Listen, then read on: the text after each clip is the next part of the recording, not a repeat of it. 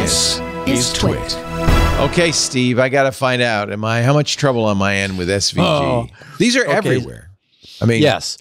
Um, and thus the cause for concern. So Yeah. to, to set the stage here, um, back on February 5th, Sophos's headline was Scalable Vector Graphics Files Pose a Novel Phishing Threat.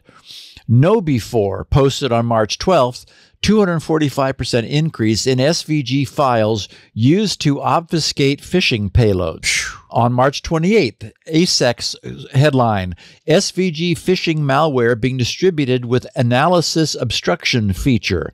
On March 31st, Mimecast wrote Mimecast threat researchers have recently identified several campaigns utilizing scalable vector graphics attachments in credential phishing attacks. On April 2nd, ForcePoint's headline An old vector for new attacks. How obfuscated SVG files redirect victims. On April 7th, KeepAware's headline SVG phishing email attachment, a recent targeted campaign. On April 10th, TrustWaves writes Pixel Perfect Trap, the surge of SVG born phishing attacks. VIPRE Security Group's April 16th headline was SVG phishing attacks, the new trick in the cybercriminals playbook. On April 23rd, Intezer blogs under Emerging Phishing Techniques, New Threats and Attack Vectors. And last month, on May 6th, Cloud Force One, which is Cloudflare's security guys, posted under the headline SVG's The Hacker's Canvas. oh God, So, oh boy. like I said, holy smokes.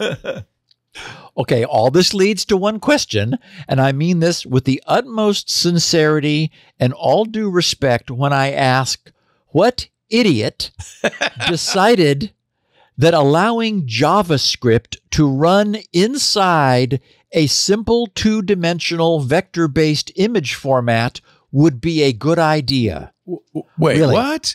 Come on. what? You're kidding me. Believe it or not, the SVG scalable vector graphics file format based on XML can host HTML, CSS, and even JavaScript, and it's all by design. So you could put arbitrary JavaScript in an SVG graphics file, Yes, and how does it get triggered? it runs on by design. it is un- When you open the file? believable. Oh my when no, when it's displayed. When- uh, that's what I mean. Yeah, when it's when it's used. Yeah. Oh okay, now now let's just remember.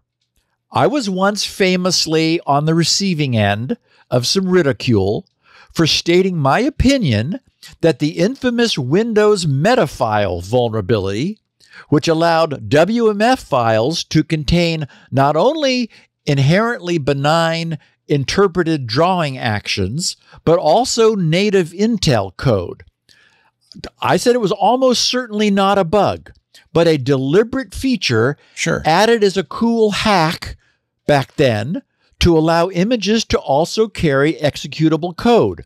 As we know, the world, I wrote in the show notes, went nuts. It lost its shit, is the technical phrase, when this Windows metafile so called vulnerability was discovered, or rather rediscovered.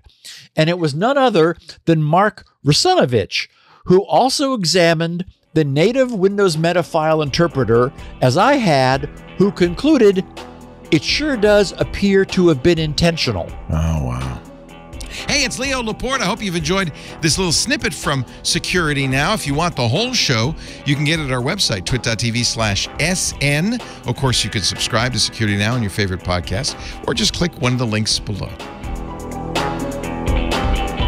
Security now.